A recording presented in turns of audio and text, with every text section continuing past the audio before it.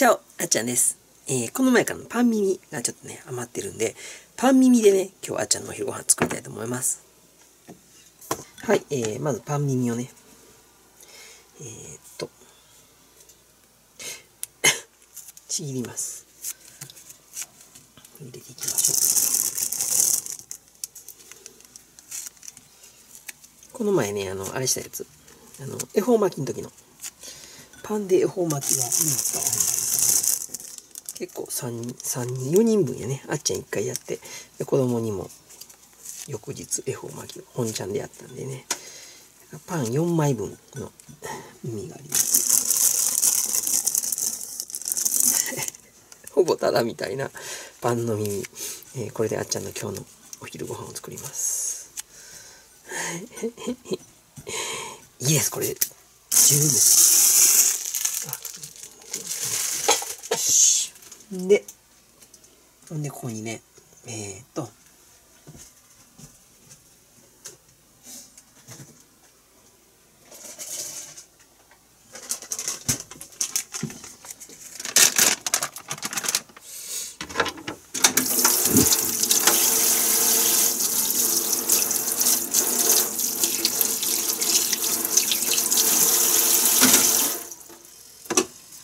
えー、っとね、よいしょ。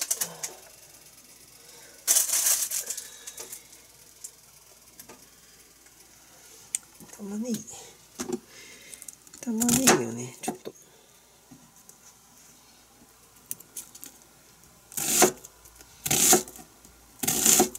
今玉ねぎちょっとね。まあ適当に切っときましょう。で、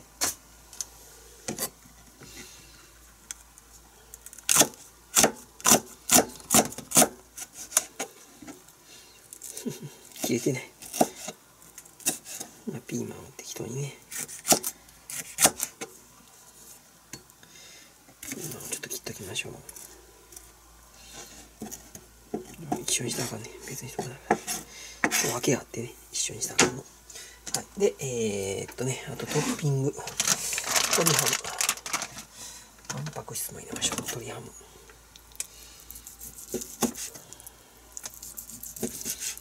うん、これでいいかな。よ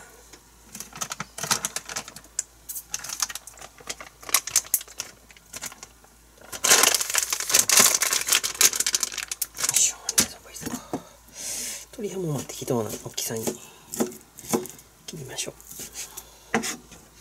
これ別にしとくの。で、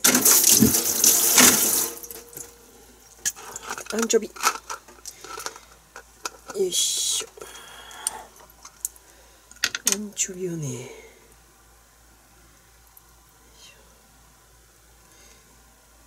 一、二本あったらいいな。しょったー。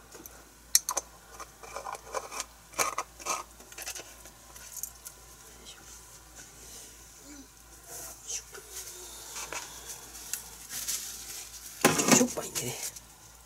アンチョビもね、ちょっとみじん切りにしときましょう。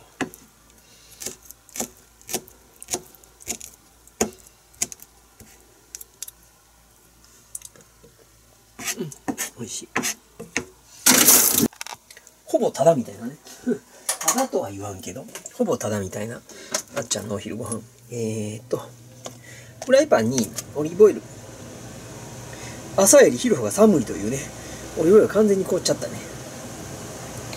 もうないからな、さかけるか。よ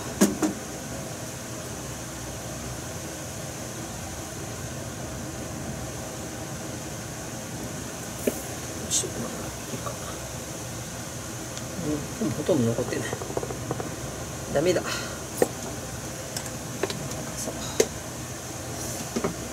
ーっと、ちょっと湯煎しようか。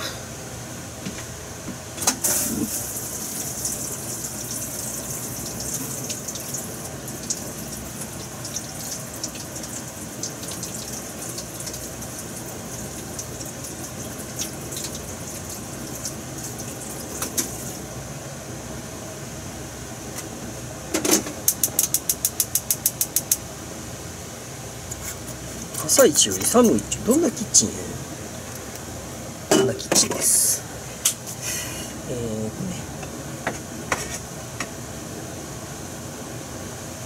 そのオリーブオイルに玉ねぎと玉ねぎとね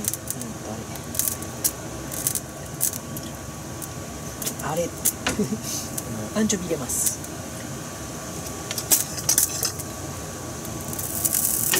ちょっとね玉ねぎに玉ねぎちゃんはオリーブオイルに玉ねぎとアンチョビの香りを移して。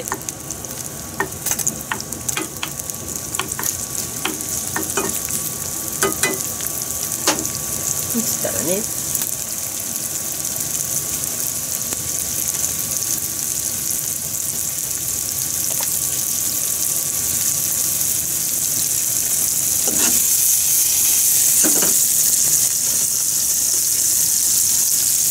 きのこまいたけ。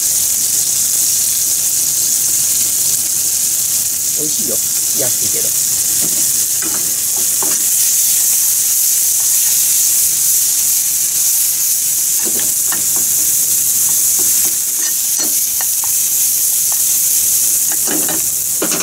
ここにねえー、っとミルク100ぐらいかな適度あ間違えた。間違えた。さっきこっちだった。トマト？カットトマト缶ちょっとあれか。し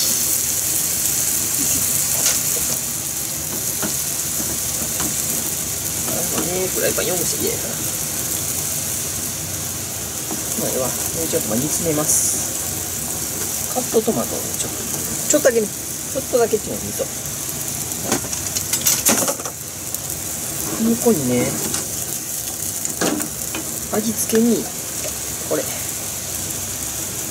トリュフオリーブオイル、オリーブじゃなとあの、トリュフ入りキノコブイヨン。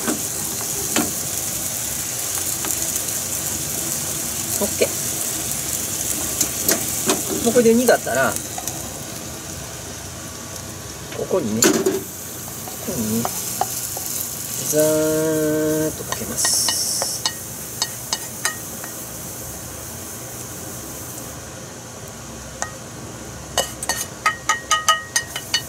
OK ちょっと少ないかな。もうちょっといこうか。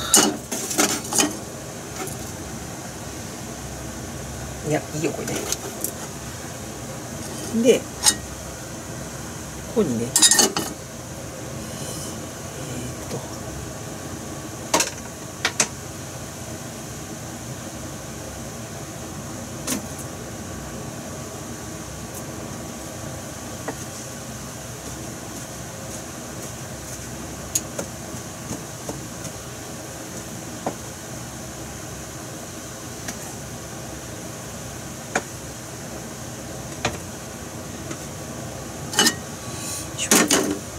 ここにね鶏鶏のハム。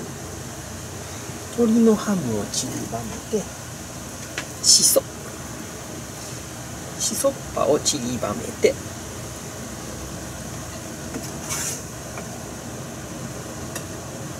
でチーズ。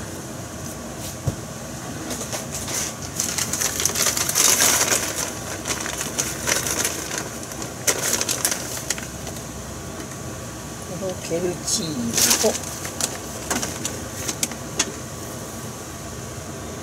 あーとちりばめてでその上にピーマン。い色味ね上のパンきれいね。でハーブとブラックペッパーこれで、えー、焼きます。オーブントースター焼いていきます。はいできました。こんな感じです。はいでは食べましょう。ではいただきます。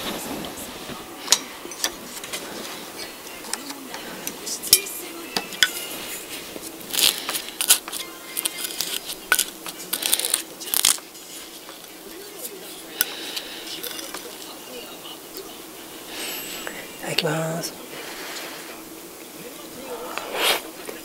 うん、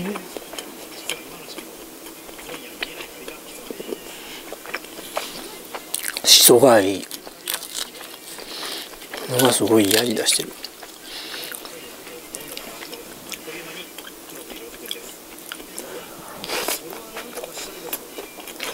うん、ね。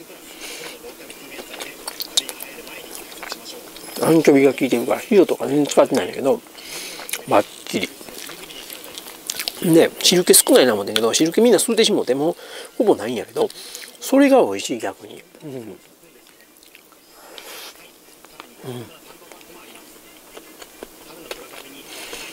あり。パン耳やけど。今ねテレビバイキングであの10歳の子女の小学4年生の子の虐待死やってんだけどみんなの対応がダメでこれ結構あっちゃんあっチャンネルに社会派の方の動画で声出してって言われてていろいろ調べとんだけどなんか感情的になったらあかんの分かっとんねんけどなってしまう、うん、なんかもう全ての大人がダメ、うん、もちろん母親も逮捕されたし父親も逮捕された。でそれだけじゃなくね学校も、うん、児相も教育委員会も全ての対応がダメや。なんかもう怒りしかあらへん。ね。出てきた評論家もね、うん、教育委員会の対応はダメだと思いますとかこれはダメだと思いますと思いますやらへん。思うだけじゃダメですそれは。思いますとか。そんな曖昧な返事の言葉遣いじゃダメやと思う。それぐらいやったらあかんこと。全てが守れたよこの命って思うから。あっかんがやっとうまくいかんでとんでもないとこになるから。なかなかできへんねんけどね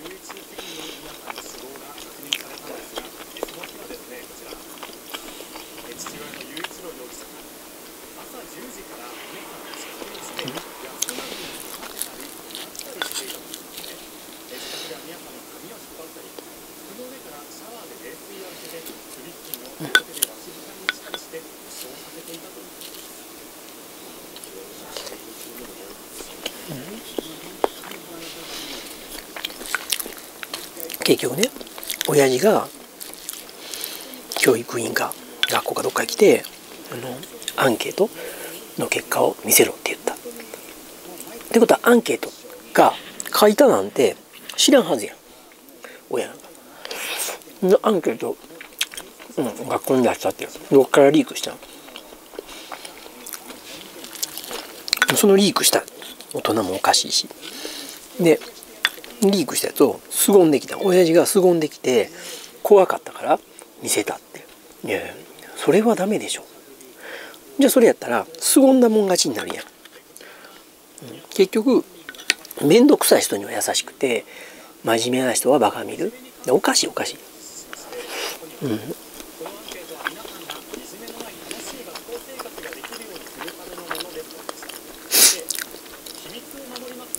秘密を守りますよ。正直に答えてください。って書いて名前書かなくてもいいですって名前まで書いててそれ対応してんのにこれではダメやんだよ。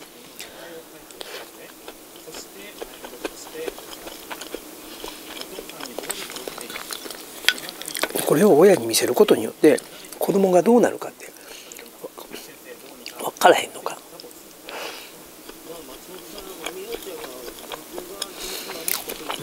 女の子も勇気振り絞ってヘルプを求めてやと思うけどな。ご飯食べながら喋る内容ちゃうけど。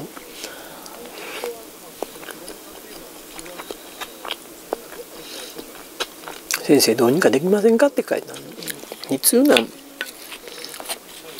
ういいや。ん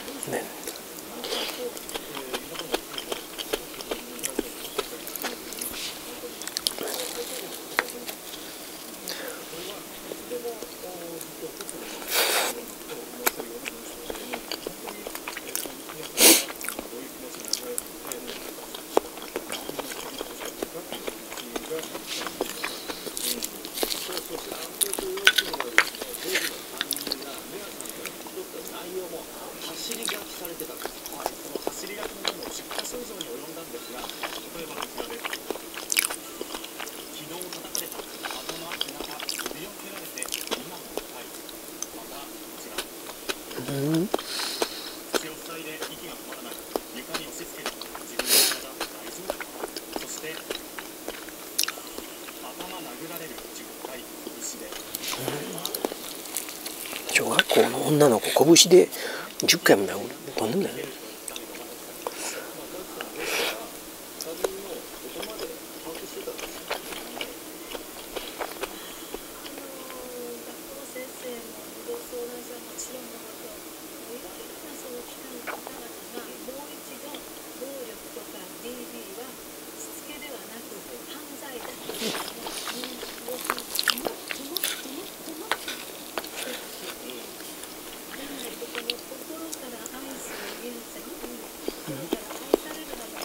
結局でも俺親はなんていうかな殺そうと思ってやったんちゃうと思うねしつけや思ってやったと思うねうん。しつけと暴力の境目ってなくなってくる何でもこれクラブでもそうやし会社でもそうやし上下関係学校もそう。昔の先生がそうやって今やったら暴力や虐待やって言うけど昔は市内持って叩かれた。まだ市内やったらええねん。パーン言うと音鳴って逃げるけど木の棒とか三角定規の大きい先生持ってるやつとかコンパスの大きいやつ。あの大きなコンパスあれやんあの黒板に書く。あれでしばかれんねん。ああもう痛いもろきやで。うん。とかホイッスルくるくるくるくるって回してポコーン叩かれるあれで叩かれた。らめちゃくちゃ痛い。よ叩かれたからね。それが痛いって言ったらお前が悪いことしたから教育やって叩かれるねでそれ虐待や今で言うね、当たりどころ悪かったら死んじゃう変に避けたりして目とかに当たったら失明しちゃうんでチョーク投げて当たって失明した子もいてんねん。うちの学校じゃないけどね。だから今虐待をなくそうって言ってるけど家庭内の教育だからしつけと虐待を勘違いして昔の先生もしつけや言うてやってた。で今になって思ったらいい自分が悪かったし先生にしつけられたんやって思うで自分でも。うん。でも先生やったとは思うけどそれでもその一線を越えてしまったらそれはもうしつけじゃなくなる。食べながら許し話しちゃうんですな。だから多分ごめん。おかんはおかんはその父親の暴力止めてへんっていうのとかご飯与えてちゃんと与えてなかったってそれはちょっとあの虐待の域を超えとるけど単なる傍観者逃げてるだけ。結局あのお父さんの暴力自分に及ぶのが怖かったから娘に及んで逃げてるみたいなところが一番ずるい人やと思うけど。お父さんは多分どのこしたしつけやと思ってやってると思う。お母さんはしつけじゃなく単なる逃げ。お父さんを肯定したりね擁護するわけじゃないけどお母さんの方がずるい。いやお母さんは自分の中痛めて産んだ子やったら命がけでもその行為から守ってあげなあかんやっぱり教育とし教育しつけと虐待の狭間のところはそれは旦那に言わなあかんと。なやっぱり暴力的だっていうのね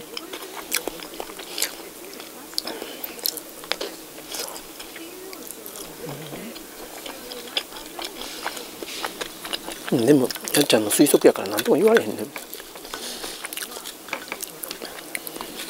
社会派動画もね出してもっともっと継承したいんだけどうちのチャンネルでやるとアホみたいな否定のやつが出てて反論してきたりしたらやっぱりこのその行為をなくしたいでやっとんのに逆効果になるからあんまりよしく悩んでね今実際。ほんまはそういうね影響的のある、うん、動画も出したんやけどね。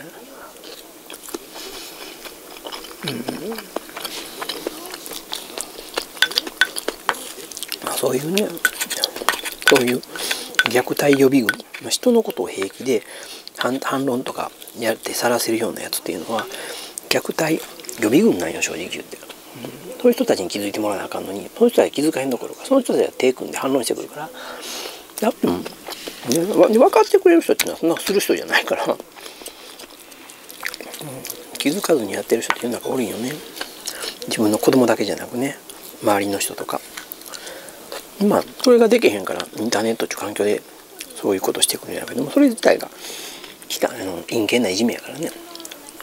だけたら影響だか勇気振り絞ってやろうと思ってる声が逆にそういう人たちがね。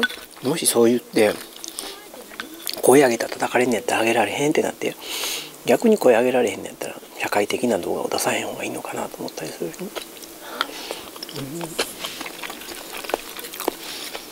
結局汚いのは大人なんよ大人が汚いことするから子供が犠牲になんねん。って思う。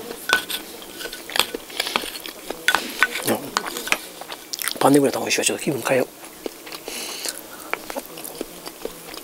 アンチョビがすごいやりだしてる、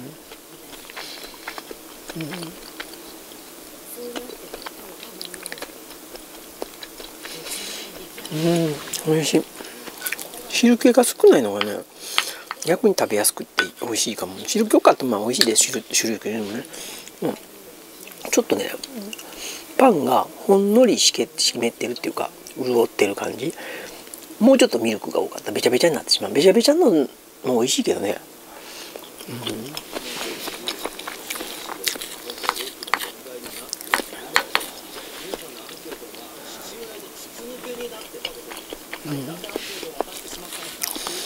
トリュフが効いてね。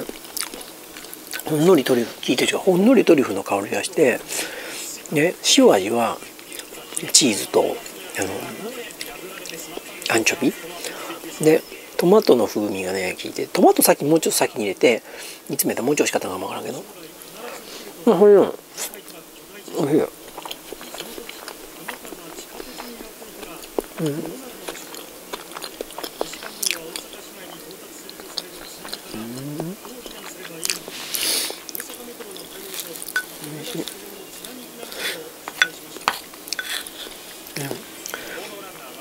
最初に言った玉ねぎがすごい味効いてるしね、うん、いい組み合わせこれ、うん、うん、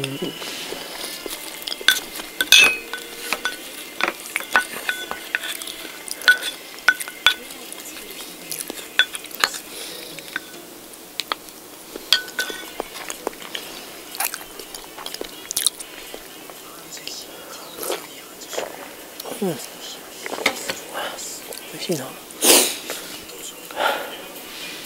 今日まあねイカスミパスタにしようかもだけどイカスミパスタは子供も好きやから夜してあげようと思って。晩ご飯パスタにするわ。晩ご飯パスタってあんまりないねんけどうちは。あいいわ。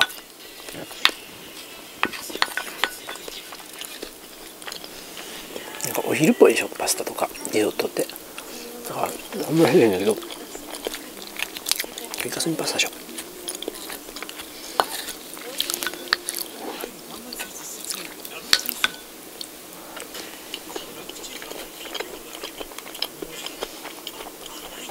うん。う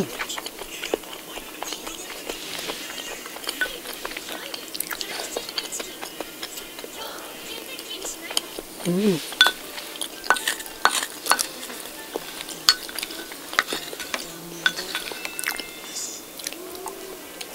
うん。そら完食しました。いや美味しい。ねもう今回の組み合わせ最高。どれ抜けてもダメ。アンチョビのねこの塩味とあのトリュフの香り。きのこがすごい合うし玉ねぎのね風味とオリーブオイルの何て言うかなオリーブオイルに玉ねぎの香りが移って全体的に玉ねぎの風味がしてね。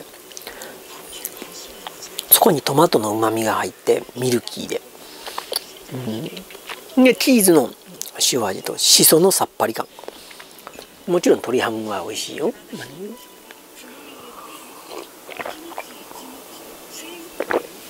最高の組み合わせでした、うん、ね。パンの耳へへしたしたら捨てられるもの。ね。食パン茶葉やサンドイッチとか作ったらねもうはっきり使い道どうしようかなっていう耳ね、うん、どうせねあの揚げて砂糖まぶして食べるぐらいのことしかできないあれ結構脂っこかったですねけど。うん。なんかオーブンでカリッと焼いて砂糖砂糖まぶしてねラスクにするとかぐらいしかねあの使い道ないんやけど。パンでグラタンにする。パン耳でグラタンにするとね、うん、溜まってたパン耳がね美味しくいただける。夏場はねかびっちゃったりするんであんまり緊張かれへんだけど、ね。うん、美味しいです。はい。ということで、えー、パン耳でグラタン、えーちょっとイタリアン風なパン耳でグラタン。美味しかったですごちそうさま。今日のあっちゃんちのパン耳でグラタン。良かったよと思ってくれたら高評価を応援コメントチャンネル登録してこれからも見てくれたら嬉しいです。ではまたね。バイバイ。今日もこの後いろいろレビューしたり動画撮ったりしてね一日過ごしたいと思います。ではまたね。今日一日家でいてます